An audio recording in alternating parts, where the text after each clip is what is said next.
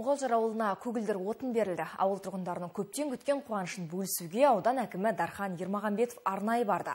Көпшілікті қуанышты сәтпен құттықтады. Мұғалжар ауылына газ құбыры 40 шақырым қашықтықтағы Ембі қаласынан тартылды. Жобаның жалпы құны 1 миллиард 800 миллион теңгені құрайды.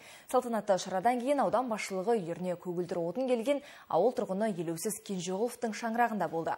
1700-ден астам тұрғыны бар ауылда бүгінгі таңда 8 көшеге асфальт төселіп, жарық шамдарын орнату жұмыстары жүргізілді.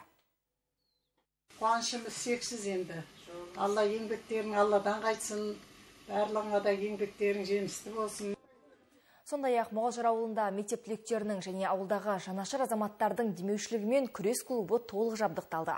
Осы игі іске атсалысқан ауыл азаматтары аудан және ауыл әкімдерінің алғыс хаттарымен марапатталды.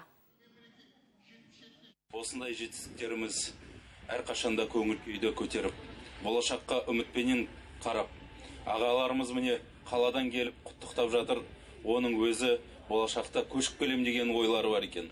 Оның өзі бізге үлкен үміт арттырып алдағы уақытта жаңа бастамаларға қол ұшын беріп отырады